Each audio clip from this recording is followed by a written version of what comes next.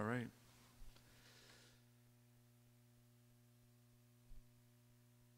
Okay, good afternoon, everybody. I'm Peter Zanoni, Corpus Christi City Manager, and we want to welcome you to our joint city, city county uh, health briefing today on COVID-19, uh, the city of Corpus Christi and, and Nueces County. I'll speak first today. I'm going to provide an update on our COVID-19 statistics. I want to show uh, the community a new dashboard that we developed, and that's uh, live on our website. And then I'll give you a quick update on the public uh, health district's drive-through that'll take place this Thursday. Uh, following me, Councilman Roland Barrera, uh, City Council member from District 3, uh, will highlight a policy decision that City Council took earlier this morning to approve a $2 million small business recovery loan program. And Councilman Barrera will talk more about that. Uh, Mayor Joe McComb is here with us this afternoon, and he'll be uh, talking about uh, extending the uh, stay-at-home order that City Council did as well this morning to be consistent with Judge Canales' countywide uh, order. Uh, he's also going to talk about restrictions on short-term rentals that were included as part of our order this morning. And then he'll give us any updates that may be important. he attended a, via conference call a big mayor's uh, conference uh, call with the governor today, so he'll talk about anything relevant there for our county and area. And then we'll close out today with uh, Nueces County Judge Barbara Canales, who's going to talk about the the county-wide orders on staying at home, making sure uh, points of clarification are made for the community. And uh, she'll also talk about some of the CDC recommendations uh, for wearing face masks today. Uh, she'll also preview some thoughts that uh, that we're having together collectively on, on some of our parks and beaches, especially uh, with the Easter weekend approaching. So we want to begin to have a uh, conversation with the community.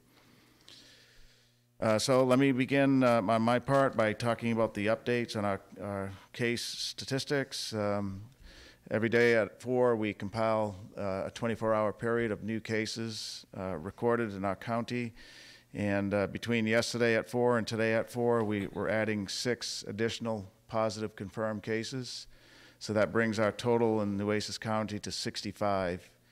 Uh, I think you can see that the um, we're not trending down right now, which is a little bit worrisome, but six more today again. Uh, uh, we had 59 yesterday, so that brings us to 65 total. Uh, the six new cases, uh, primarily in the city of Corpus Christi, five in the city of Corpus Christi, and one in uh, unincorporated uh, rural uh, county in Banquete, to be more specific. There are still no deaths in Nueces County, so it's still trending zero on the deaths there. And the, um, the male-female uh, split is still uh, pretty consistent. 51% of all the cases are male and 49% are female. Of the six new cases, more were male. There were four male and two female. And then when we look at our age brackets, we have nine age brackets, uh, beginning uh, from 0 to 19, and then the spread 10 years apart. So our distribution now is kind of filling in where just about every age bracket has a consistent number uh, of cases, with the exception of the 0 to 19 and the 80 to 89. Those have fewer cases, but in between every age bracket, um, has a consistent number of cases, which is important for the public to realize that the uh, virus is not prone to a particular age of a person, and it's, infecting uh, persons pretty much equally in Nueces County. When we look at, um, at testing, this is an important thing. Uh, we're, st we're still testing. Uh, private labs are still testing in Nueces County, and we have been testing since January. Uh, but what we're getting now is better information uh, day by day on, on the number of tests performed over time. And so as of today, uh, when you look at our, our uh, joint city-county lab where we conduct tests, as well as we look at the hospitals that are ordering tests and the commercial labs who are conducting them, we have a total of 818 tests that have been performed uh, to see if one is positive or not for, for COVID-19. When we look at a week ago, the data that we had showed only 154 tests that were conducted. But we know many more than that were actually done, but we just weren't getting good data. And so now with the mayor's uh, order that he put in place that requires uh, or that the council put in place that requires uh, hospitals and labs to report to the city, county, health district. Uh, We're getting better information, and you can see that just in one week, the reporting, reported numbers to us have significantly increased. So last week, we were reporting 154. This week, that number is 818 uh, completed tests in Nueces County. And then when we look at just some, the averaging of, of the numbers, we've been monitoring now or tracking uh, the number of positive cases since the first one was, uh, was announced. It's been 18 days of tracking. And um, when you look at the total number of cases by the number of days, our average number of cases is about 3.6 uh, positives a day. We had a big spike of 10 on one of our days, so our average is, is around 3.6 uh, persons. So you can see that the six is still kind of high, and we're hoping uh, that that will change over time. And um, in terms of um, where the persons are in terms of their recovery, um, we have, uh, yesterday we had six that were in the hospital. And so good news is two of those have been discharged. Uh, so we still, though, do have four in the hospital. And three of those four persons who are in the hospital with COVID 19 are in critical condition in intensive care. And then one person is recovering. So there's still four uh, in the hospital, three in critical, one recovering. And then a big picture of all the, of all the persons, the 65 persons, 57 are in the city of Corpus Christi. We have four in Port Aransas, one in Robstown, and then three in rural, uh, unincorporated Nueces County. Okay, so that's the statistics for this uh, 24-hour period. Uh, What I want to show you on the screen is all this information I just went over is now in a much easier to interact with format on the city county's joint website. Um, There's uh, numerous charts and graphs. Our zip code information is there uh, that we first started reporting on yesterday. Uh, There's some easy call-out boxes on the far right side that talks about uh, the number of new cases, total cases, number of tests, total tests, and so on. These graphs here uh, show information uh, on number of tests conducted, positive cases. When you click on any one of these, the material uh, pops out.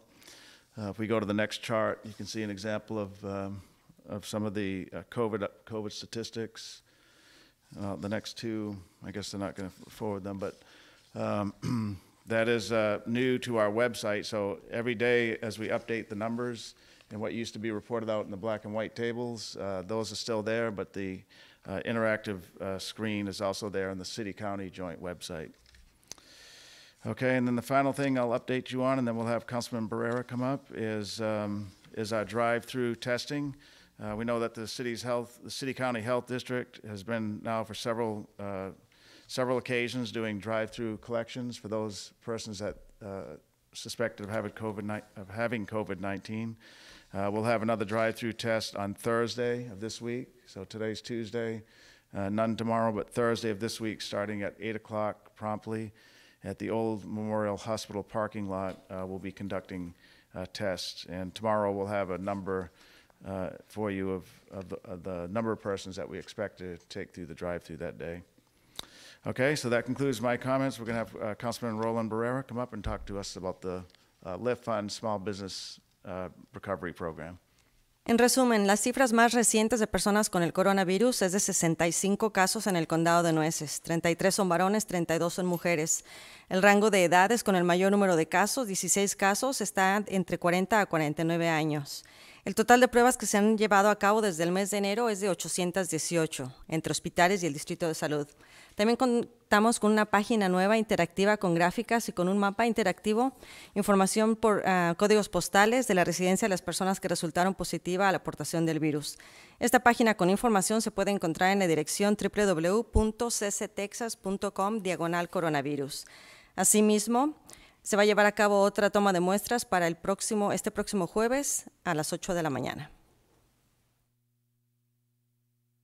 Well, thank you very much. As uh, Peter indicated, my name is Roland Barrera. I'm your uh, District 3 council member. And first off, I want to thank you for the diligence of the community. Thank you for tuning in. Uh, you know, as the mayor continues to say, and, the, and uh, our honorable judge continues to say, you know, we'll get through this together. Um, I also want to thank, thank my colleagues for allowing me to bring this information to you. um, as well as uh, the city manager and his staff, along with the, uh, the 4A and 4B board who got us all to this point. About uh, two weeks ago, uh, we saw that uh, the LIFT fund uh, through, in Bexar County, Bexar County had appropriated $5 million to be able to provide relief for small business with, at zero interest loans. Shortly thereafter that, um, El Paso, the city of El Paso and El Paso County embarked on the same thing. There's other communities, and so, um, you know, we brought this to the city manager's attention, and then it, it, uh, there was a lot of positive activity that started moving forward. I think uh, then uh, this uh, small business task force, which uh, is the, one of the individuals taking leadership for it, is the county judge, and she's started this uh, really important Code Blue campaign. But I think this is one of the things that's really come out of that. So earlier today, the, our council and with the leadership of our mayor approved an amended agreement with the LIFT Fund, of which we have one already for small business, with regard to re- a recovery program related to COVID-19. Uh, $1.7 million is going to be available uh, that will provide uh, up to uh, loans in the, ranging any, all the way up to $25,000. Uh, Those terms will be, if they're $15,000, it would be payable over 24 months. If they're $25 million, uh, 25, 25 million, $25,000, they'd be payable over 36 months. Um, And uh, the first 120 days is the, the loan payment is going to be deferred. Uh, This loan package is specifically for business owners right here in Corpus Christi. Uh, We've also agreed on an amendment to give priority to businesses specifically affected by the stay-at-home order that the governor issued. Uh, This program will not be as complicated as the SBA. Uh, Currently, SBA programs are available locally through SBA certified lenders. This package is unique. It's, it's crafted for area business owners who may not have that relationship with banks. And loans will be arranged, will, will, uh, they'll be available at zero percent, and once again, having that four-month deferral for the first payment. Anyone looking for assistance uh, should call the LIFT Fund. They can be reached at one eight eight eight two one five two three seven three. Once again, eight eight eight two one five two three seven three. And right now, they're available Monday through Friday from eight thirty to five thirty. And beginning April third, uh, people can begin uh, submitting their applications online at uh, liftfund.com, L-I-F-T-F-U-N-D dot com. Thank you very much. En resumen, esta mañana aprobamos un acuerdo con la corporación Lift Fund para fina- financiar un programa de préstamos para pequeños negocios. Existe un total de 1.7 millones de dólares disponibles mediante préstamos de hasta 25 mil dólares cada uno. El interés de los préstamos es del 0% y es para comerciantes que no cuentan con un banco. Este programa está Está diseñado para negociantes que han experimentado pérdidas económicas. Los negociantes interesados pueden llamar al 888-215-2773 o llenando una solicitud a la dirección www.liftfund.com.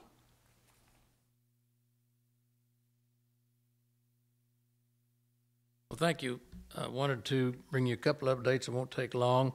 Uh, We have today, the council did uh, uh, adjust our order to reflect what the county judge's order is, and that is to go to uh, April the 30th and uh, incorporate the items that the judge has uh, imposed. And uh, we do this, one, because we, it's a united front, and we want to be consistent and try to make uh, everybody work together and, and shoot for the same goal. One of the things that, that we did in addition to that, and this is the judge's uh, uh, discretion, and she was kind enough to uh, give her a blessing because it, it doesn't impact the whole county as it does particular cities, and cities still have some, uh, some authorization to impose some rules and regulations uh, in addition to what the judge has done, if, the, if there's not opposition to that, and she's very gracious. Uh, The city of Port Aransas uh, last week imposed some pretty uh, strict re- restrictions on activities in the city of Port Aransas.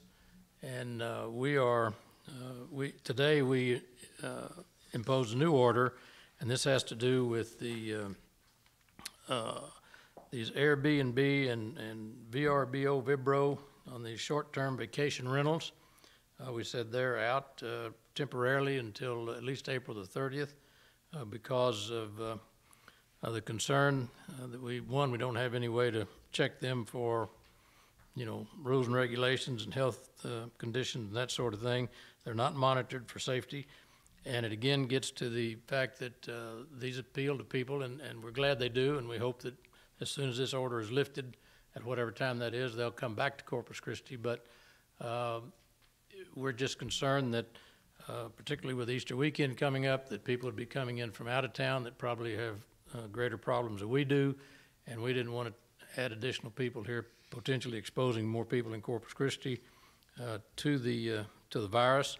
And so, let me read it so you know exactly what it says, and if there's any questions, uh, you can uh, probably go and can get this order on the website, and just in case you don't get them all. But the short-term rentals are prohibited unless persons are temporarily occupying said short-term rentals for the purpose of dwelling, lodging, or sleeping during or between periods engaged in essential activities, essential businesses, essential government functions, or essential services, and are occupied by persons subject to a temporary quarantine or self-quarantine for purposes of this subsection. Short-term rentals means a residential dwelling rented by the public for consideration other than a hotel or motel and used for dwelling, lodging, or sleeping for purposes of less than 30 consecutive days. And so uh, uh, hotels and motels uh, have people in them, uh, and they're there. And we've got a lot of essential people that are staying there that come in and help. But we've got doctors from out of town, nurses, and others that are supporting essential businesses that have to stay in a in a facility while they're here. But the um, uh, the short-term rentals, uh, we feel like is a, uh, a concern. And then the other, the reason we're saying this now, that we'd like, you'd like to need to know, is that um, if people are flying into Corpus Christi to come down for uh, their vacation, uh, under the governor's orders, you're quarantined for 14 days once you get through the airport. And uh, if you've got a seven-day rental, you're going to spend seven in quarantine, and you got seven more to go, seven or eight more to go, and you don't get to your rental unit. And so um, uh, that we, when they come to Corpus Christi, we want them to have a good time and have a wonderful time because when they get here, they'll still have to abide by all the orders, stay home, don't roam uh, requirements. And so we just felt like that was in the best interest of our community to do that, and so we imposed that, and it went in effect immediately today. And, um, and that uh, kind of coincided with what Port Aransas is doing, and you can see that um, that uh, also, uh, for those that are interested in going to the beaches, of the state of Texas, Texas Parks and Wildlife has just closed all the state parks uh, in the state of Texas, and uh, they will be closed until uh, at least April 30th, and depending on what the governor decides at that point, because it just uh, it was becoming too much of a problem for them to try to maintain the people's keeping their distances. We want to show off our parks, but we want people to enjoy them when they come and not just be restricted. So the state parks across the state have been shut down. Uh, Mustang Island State Park and uh, I guess Lake Corpus Christi State Park or Lake Mathis State Park and others. So uh, we need to be uh, aware of that. That the the number one defense of this whole process is this social distancing, and I can tell you it's a challenge. Um, it's a real challenge for my family right now. We just had a new grandbaby and we haven't gotten within 10 feet of it. And uh, that, that that really that, that hurts. But uh, the, she doesn't know that we haven't seen her yet, and uh, maybe before she gets too much older, we'll be able to and hold her and squeeze her and start kissing on her and this sort of thing. But uh, I wouldn't dare risk the chance that uh, while I don't have it and don't feel like I have it, if I happen to have something on a piece of clothing or something, I would not risk the chance that uh, one of those little COVID critters might fall where she might be able to breathe it in. And so uh, it really has a lot to do with your respect for your fellow citizens and your family, is to really be careful of where you go and what you do. Um, so we'd ask for you to pay attention to that and to be cognizant of that, and we will, uh, we will prevail, and we'll get over this, and um, we'll keep moving. I've been on several conference calls uh, between the big city mayors and the governor uh, today for almost two hours, and um, a lot of it was just general information, but some of it was very good. I'll just hit a couple of things, and this probably, most people don't pay this much attention to it, but for businesses, the franchise tax, according to the comptroller, uh, the due date has been extended to July the 15th. I think they probably were all due on April the 15th, just like taxes, or may have been April the 1st. I'm not real sure, but they have extended the deadline uh, to July the 15th. And then I would like to address a question that I get emails from, and I'm sure the judge does. Uh, and I just want to read this to you because we try to give you information that you ask about, uh, and this is based on comments that were made by uh, Mr. Nim Kidd, who's the uh, Executive Director of the State Emergency Management Operations. And the email goes like this, as I'm a, as a resident of Corpus Christi, I'm concerned about the lack of community testing that's being done on the COVID-19 virus. Well, the testing is done by the availability of supply. And they told us that uh, they, they get these supplies out, that's to us, and then, of course, the hospitals and the, they have the, the private labs, but from the county standpoint, the state, through a STAR request program, and it's a very sophisticated program, and they prioritize and, and uh, get all of the uh, materials they have, they divvy them up to where they think that the men needed the most, and, and uh, uh, it's a very, everybody, they try to get something to everybody, but there are times when some areas get preference over others, and I would think probably the fact our numbers are low relative to some other areas in town or in the, state. But the, um, but they say they do not have anything in the warehouse uh, that stays there probably 24 hours. They get it out as quickly as possible and get it distributed throughout the state, and that uh, there's more than just a, when you say a test kit. There's three different pieces of that test kit, as I understand it. It's the it's the taking of the, the specimen, then it's the bag that you, you you take it to where it's get tested, and then you got to distract the, the specimen from the test swab, and then you do the test. So if any one of those parts is missing, you can't perform a test. And so uh, it's not that we're holding back doing any testing. It's the fact that it's uh, it's all based on supply and demand. And and um, I guess the good news to that is that we're not as bad off as some communities. But on the other hand, we would like to have, and I think they're working, and they are getting more and more supplies all the time.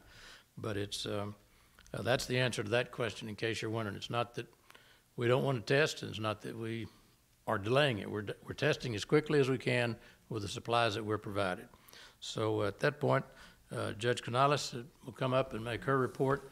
And uh, let me just, uh, again, give a shout out to all of those that have been in the, uh, the arena for the last two months working on this. Again, a thank you for that. And particularly this young lady over here that uh, has to listen in English and think in Spanish and then translate. She's doing a wonderful job. And uh, I just, uh, I'm amazed at that, that ability. Wish I had it. But uh, we want everybody in the community to be able to understand. We communicate, and uh, with the with the signing of our information, we're trying to do everything we can, as transparently as we can, to let you know that we're here uh, for one purpose, and that's one purpose only, and that's for your health and safety. So, Judge Canales, I won't give you too many kudos, but she's been doing a great job, and and uh, she's fun to work with. You just got to stay on your toes because she's pretty fast. En resumen, hoy firmé un acuerdo para enmendar la orden original de estar en casa. La orden se ha extendido hasta el día 30 de abril, lo que significa que los residentes deben de estar en casa el mayor tiempo posible y evitar reuniones las cuales continúan prohibidas. Existe una adición a esta orden. Las rentas a corto plazo van a estar temporalmente prohibidas en toda la ciudad, incluyendo Airbnb. Esta es otra forma de evitar más contagios por el virus que pueden llegar de otras ciudades. Hoteles y moteles están exentos de esta orden. Si la gente llega de otras ciudades, tal vez tengan que estar bajo cuarentena debido a órdenes estatales. Esta orden está vigente desde el día de hoy y es solo para proteger a nuestros residentes. Queremos recordarle que los parques estatales también están temporalmente cerrados. Quiero recordarles que las pruebas para la detección del virus se han realizado conforme nuestros recursos y el número de kits con los que contamos. No estamos deteniendo las pruebas ni la estamos atrasando. Thank you and good afternoon. Barbara Canales, Nueces County Judge. I have to honestly say, I missed seeing you. Uh, it's been since last Friday that I've been before a press briefing. I think this is a good new format for us. And I'm looking forward to sharing what I think is important information for you to know. I think I want to start out this afternoon by talking about masks. Boy, have I gotten a lot of questions through emails, texts, and phone calls about masks. And the reason is is because in the beginning, masks were not uh, recommended by the CDC as anything that we needed to do. But as this virus has changed, as our situation has changed, they have made a different recommendation. And I want to share that with you so that we can help everybody understand it. So, what the CDC is saying is that masks are recommended. Let me be clear, they're not mandatory, but they are highly recommended. The type of masks that are recommended are cloth masks. Why? Well, we want to try and preserve those surgical masks for our healthcare workers. And that's really important as we talk about the need for supplies all over this country. It's really important that we know how we can be helpful. I know every night that I'm watching the news in New York, where two of my daughters live, I want to make sure that I can do everything I can to help. But when we're so far away, you almost feel helpless. Well, here's something we can all do. Using a cloth mask rather than a surgical mask is a way that we can all help. And the CDC website has very good information on how to make your own masks. If you're very crafty, you might know already, but there are both sew and no sew varieties that you can make. Just moments ago, I'm sitting here waiting to come up to the podium, and I receive a text from a dear friend, a veteran friend of mine, who says, I've got an idea. And I like it so much. Here, shooting from the hip, I'm going to tell you about it. And that is, we ought to have a mask contest. You ought to have fun with your family and work on getting masks that are creative so we can protect our family when you're going out in public. So, I want to go over the rules again with the CDC masks. Once again, they advise the use of a simple cloth face covering to slow the spread of the virus and help people who may have the virus and don't know it from transmitting it to others. By covering, um, using coverings from any household items or common materials at a low cost. This is a wonderful voluntary public health measure. And I want to suggest that you listen to this piece very carefully. Children under the age of two should not have a mask on, or anybody who has general trouble breathing or is unconscious, incapacitated, or otherwise unable to remove a mask without assistance. They are recommended, as we said, You've heard lots about N95 mask. That's not the kind of mask that you need or the kind that the CDC is voluntarily uh, talking about. Those are critical supplies, as I've just mentioned, and they must be continued to be reserved for the health and welfare of our healthcare workers and, of course, our first responders. So, I want you to see if you can get involved with buying or making cloth face masks and wearing them in public settings as recommended by the CDC. And again, you might ask, Am I mandating this? And the answer is no, I'm not. Why didn't we do this in the beginning? Well, because we're always looking to follow the best expert advice, and now the experts say at the CDC they recommend wearing them in public settings. So, if you're at the grocery store or shopping or anywhere where you're around a lot of people, a cloth mask is now recommended for my uh, county employees that are currently working uh, at the courthouse. It is my intention to provide as quickly as possible, and I think we have over 200 employees working inside the courthouse right now, and I think by tomorrow we'll have at least 100 to 150, and we'll supplement immediately. We will be providing these cloth masks for our employees. I think this is absolutely uh, critical that we also help. Our employees are working so hard, and I know when they get home, there's absolutely no time to sew. So that's small gesture on our part that we can do. In light of all of this new evidence, I'd like to demonstrate what a cloth mask might look like. This is one that was made for me. I notice actually we have other people here, members of the press, wearing them. So good for you. You're following the CDC recommendations. They worn over the ears, like this, and then you pull this piece down over your chin. Well, let me see if I can do a better job here. Now, this will make all of people who have never enjoyed Barbara talking so much very happy. You will not hear me as easily, but I promise to compensate and talk just the right amount. My mask is embroidered with the letters, with the, with the words face, faith, hope, and love. I cannot think of three better words to have on my mask, and I'm grateful for our emergency management department for making this mask for me and sharing with me a creed that I so believe, and particularly during this season.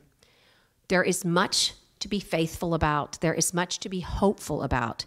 And it is the act of love that you are doing for your community when you wear the recommended mask and when you follow the practices that our mayor has so eloquently discussed with you today, most importantly, that of social distancing. I want to transition now into Governor Abbott's order today, which ordered state parks and monuments closed as of 5 p.m. today. As the mayor said, there is no doubt that we must be uniform with our state and federal partners. And so I would like to tell you that as of this afternoon, after I've had proper time to study these orders, I want to collaborate with my mayors of the cities and towns that are incorporated inside Nueces County. And by tomorrow, we will have an announcement. Uh, but I think it's really important to visit with our city attorneys and our county attorneys. But make no mistake, we have always pivoted in this county to align ourselves with the trends that make people safe during this unbelievable and unprecedented uh, uh, health crisis. And so I think it's going to be incumbent upon us as we close Mustang Park that I collaborate with PINS, Padre Island National Seashore. They're already trending as well, discussing closure of Padre Island National Seashore. So we're going to be discussing tomorrow the, um, the ways that we can be uniform. And I'm sorry to say that it might entail closing our parks and beaches, particularly until the governor gives us another indication.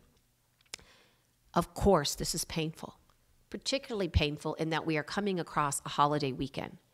But make no mistake, sacrifice is always rewarded, and I know that you can find joy and love for one another if you don't have access to one of your beloved uh, parks or beaches. It's possible, and we have to do what's in our best interest. And so I'll remind you that tomorrow we'll make certain, after we've properly collaborated, to get back to you immediately to see how we can align again with the governor's order. Let me finally end by saying that compliance, which is everything we've been talking about social distance and wearing masks and doing all the good things for us, is so important. How many times have we discussed doing the right thing and making sure that the spirit of the order is followed? But let me say that it did not give me any pleasure today to see email after email after email with photographs of places where people were not observing the order. Places that were so common that you could just go down Shoreline Boulevard and capture these moments. And so I think that if you could please do your part, keep sending us this information so that we can be as firm as we need to be. This is no joking matter. These orders are very real. There is real enforcement. There are real teeth to these orders. And my goal has always been education, education, education. But as we come upon the week that our own United States Surgeon General calls our own Pearl Harbor Week, this is no time to test whether or not we will enforce these orders. Because I can assure you we will. This is absolutely important that we work together so that we can do everything we can to keep people safe when we know they'll be at their, well, most likely you'll be off on Friday in many uh, government settings. And so please do everything that you can to make sure that the emails that I get next week are ones where we can be proud about, not where people are showing me evidence of noncompliance. The county information hotline is still open. That number is 414 6000. And I want to thank our city partners, in particular, the comments that were given by Mr. Barrera regarding the LIFT Fund, about this entire coalition dedicated to the second disaster that's happening, by the way, while the first disaster is going on, and that's the economic impact that's occurring all over our country, but particularly to our community small businesses. And so that 414 6000 number will also, I believe, by tomorrow afternoon, by midday, have a third button. If you want to ask questions about the orders, you're going to have a button to press. If you want to ask questions about social services, that'll be a second uh, button uh, to press. And then there'll be a third option, and that third option will be I need to know more information to recover. I'm a small business and we are hurting. And whether we direct to the Lift Funds phone number or whether to SBA or whether to banks, we will serve as a county as navigators. Navigators who are in very stormy waters to help small business recover. And so I went I want to say thank you to the, our IT team and our entire county commissioners court for helping make certain that we continue this effort of communication so that our citizens know where they can get help. And please let me tell you that help is coming. And so I thank you um, and really would like to reiterate that it is, um, it is with a heavy heart that I tell you some of our most cherished places are now having to be closed because of the fact that this virus is peaking all over our community and peaking all over our state and in some areas in our country. And this is absolutely critical when our governor leads that we follow. Thank you. En resumen, hablando sobre las máscaras faciales, en un principio no estaban siendo recomendadas, pero ahora el Centro para Control de Enfermedades indica que las máscaras son recomendadas para todas las personas. Usted mismo las puede hacer de tela. Su uso es para proteger a las personas. El CDC recomienda su uso especialmente para aquellas personas que no saben si portan el virus. Menores de dos años sin máscara o personas que, o personas que tienen problema para respirar, no se les recomienda que cuenten con una máscara. La aportación de la máscara facial no es una orden, solo es una recomendación. En la casa de corte, el día de mañana vamos a estar distribuyendo máscaras de tela a nuestros empleados que nosotros mismos estamos fabricando. Tenemos muchas esperanzas y tenemos fe en ustedes para usar las máscaras. Vigente esta tarde y en colaboración con otros oficiales y representantes legales, vamos a adoptar órdenes estatales en relación a los parques. Mañana nos vamos a reunir y llegar a una resolución. Es muy importante cumplir con las órdenes. Le pedimos a la gente que cumpla, ya que nosotros haremos todo lo posible por enforzar las leyes y no vamos a hesitar. La línea de ayuda continúa estando disponible. El número es 414-6000 para cualquier pregunta, incluyendo información para recuperación de negocios. Okay. Well, that concludes our press briefing for today. Uh, we're available if there's any questions from the media.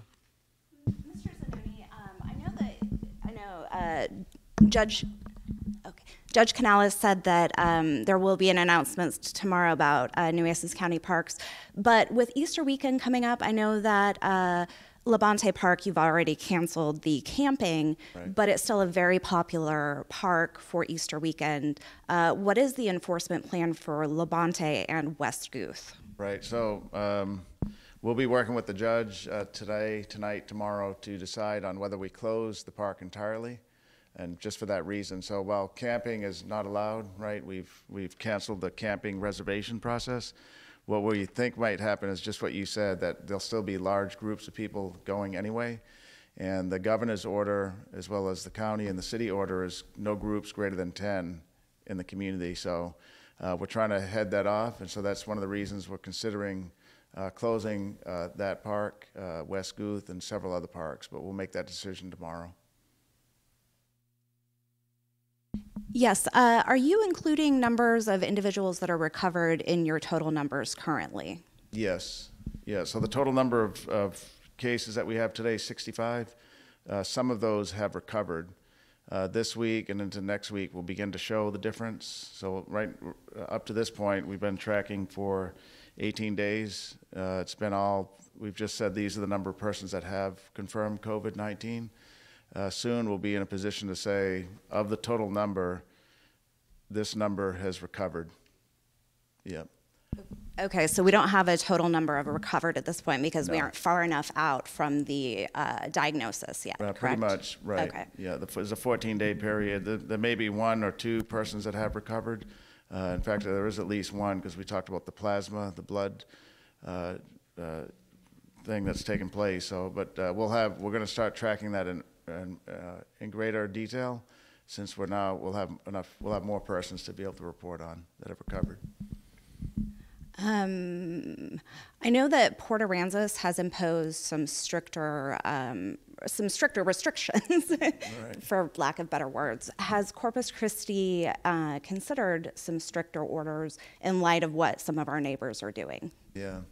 I don't know if the judge wants to speak to that, but we, um, we've, uh, our, our beaches and our parks is something we're going to consider for, for tomorrow. Uh, we've done a lot, uh, a lot of additional things beyond even what the governor has suggested, like our canceling of uh, reservation at some of our parks. Um, I don't know if you want to speak any more to that, Judge, but the question is, are we, are we considering more closures uh, to be consistent with the, the governor? So I think we have been very consistent with the governor, and uh, it's always been my understanding that, you know, as a jurisdiction like a city, you can be more restrictive. And I thought that that was important that Port Aransas have that independence. There were certain, um, as long as there's no conflict.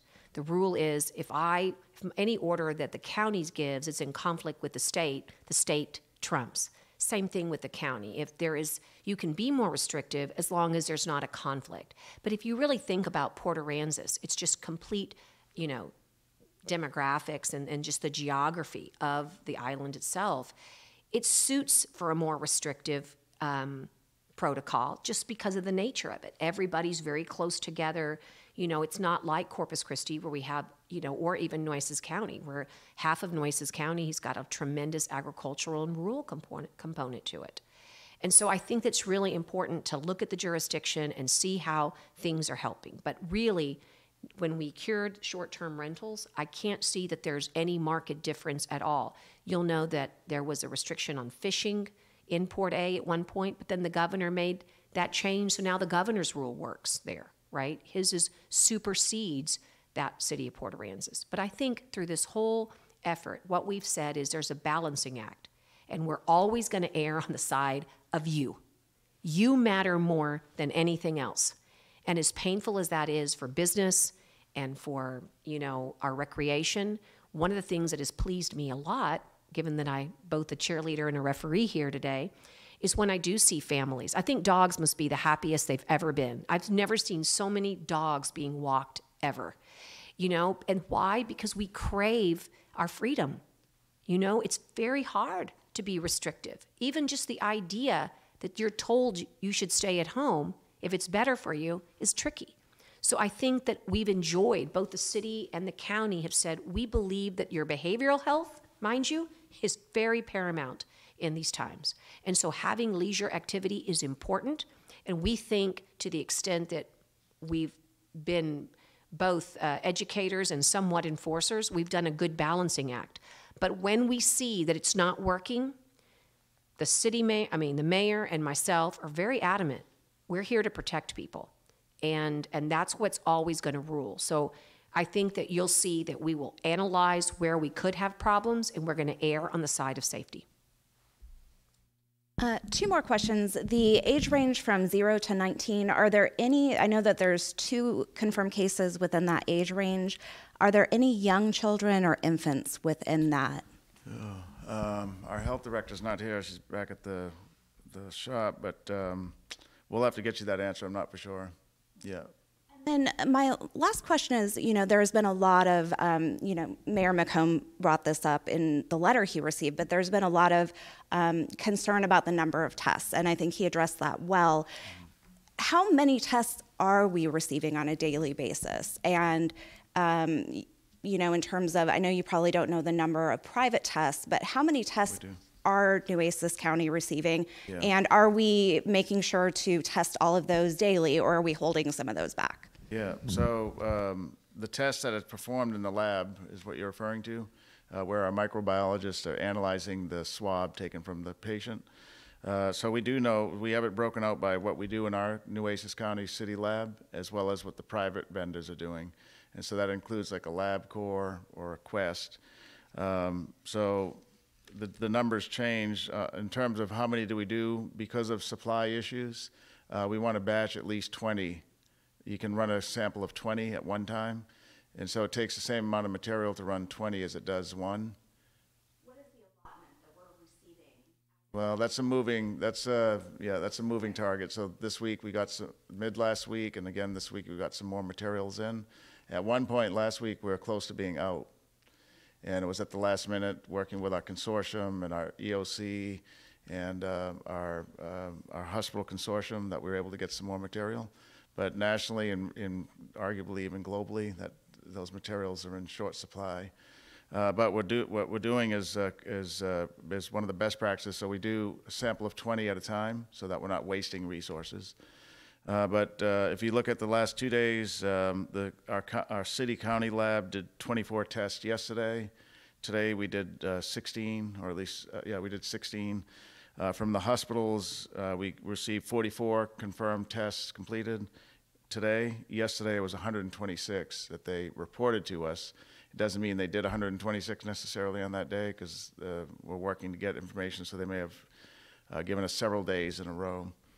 Uh, When you look at our total number of tests that have been completed, which is 818, uh, the city, county labs have done about 350, and the private sector has done about 450, more or less, yep. Okay? Just uh, clarification, are those including private physicians that are doing testing also? Are you guys getting those numbers? Yeah, and I'm, you know, I'm not sure if private physicians are actually doing the analysis. It takes a microbiologist in a, a very austere setting. So the physician may be taking the swab, but then it's sent into a private lab where the, the analysis is actually performed. You guys are getting those numbers also? Yes, yes, we Okay. are. Yeah, Okay. slowly but surely. You know, it's been, yeah. Yeah, did I you want just- to? Yeah, I just want to, and I, actually, the mayor kind of started, I was real impressed with the scientific explanation. Uh, and so I'm going to expand, if that's okay, on it, because you really started to explain exactly why it's confusing. I wish there was this kit.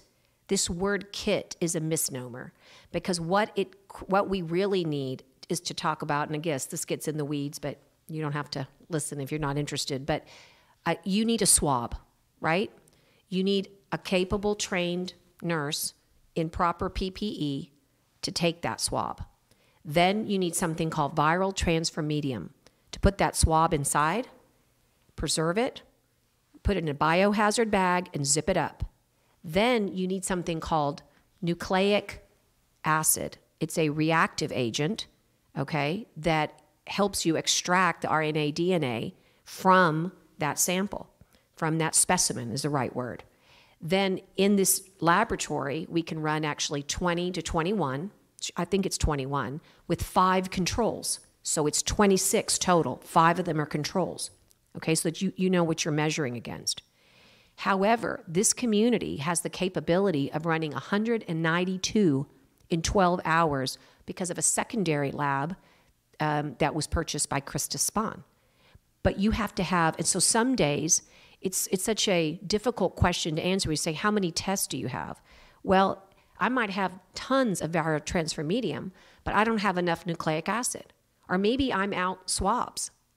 So this idea is really it's just think about science the way it used to be in school when you were in the lab.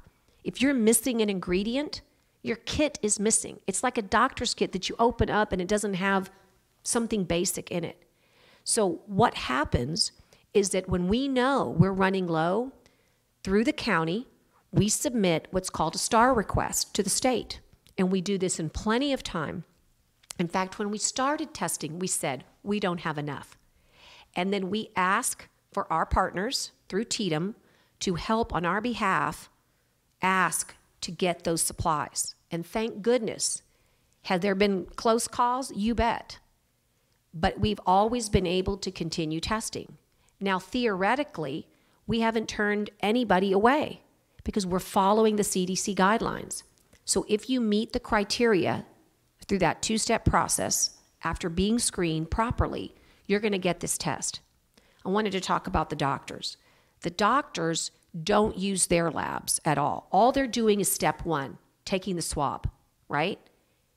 And the next thing that happens is that it goes to the laboratory in its biohazard bag, right? And it gets tested. So it's very important to know that there's only two ways to test here in our community private laboratory or through the health authority.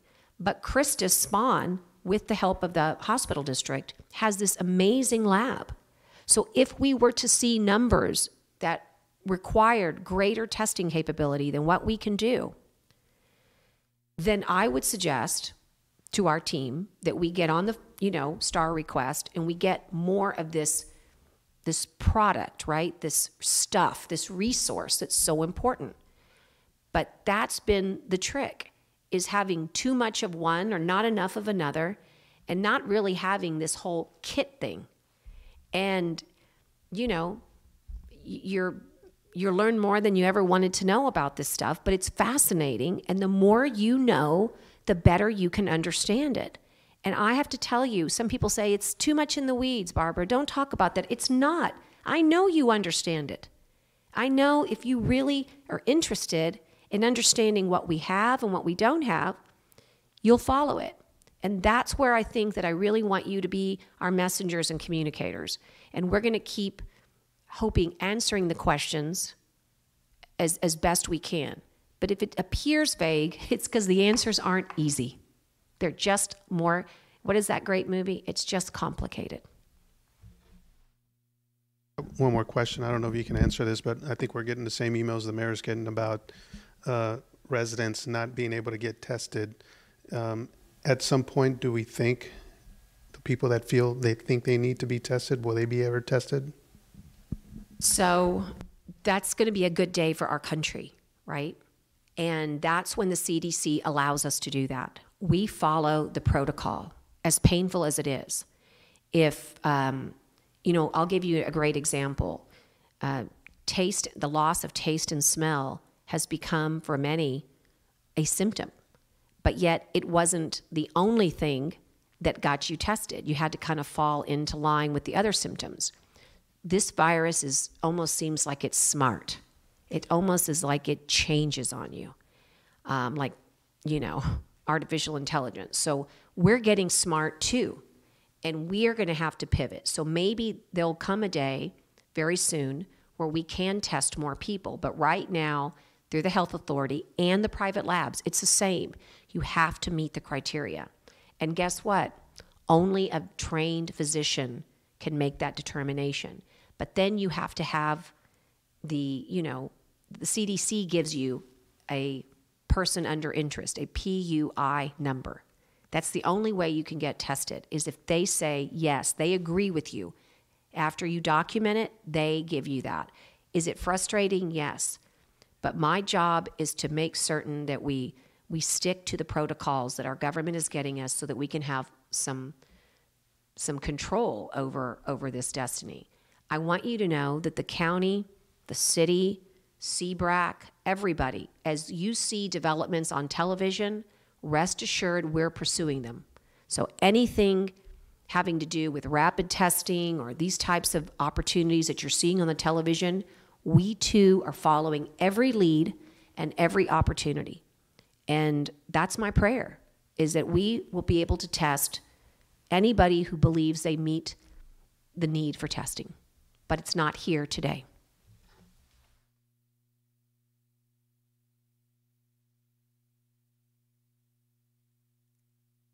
Okay, uh, any other questions for today? Okay, very good. We'll be back again tomorrow at 5 o'clock. Thank you.